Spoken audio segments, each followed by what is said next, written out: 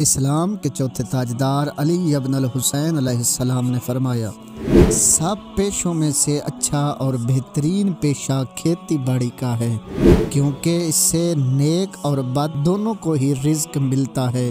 बस फ़र्क ये है कि नेक लोग जो कुछ खाते हैं, वो खाना उनके लिए इस्तगफार करता है और बुरे लोगों का खाना उनके लिए लानत करता है। और इमाम अली मकाम ने फरमाया हैवानात और परिंदे भी खेती से ही रिज्क हासिल करते हैं।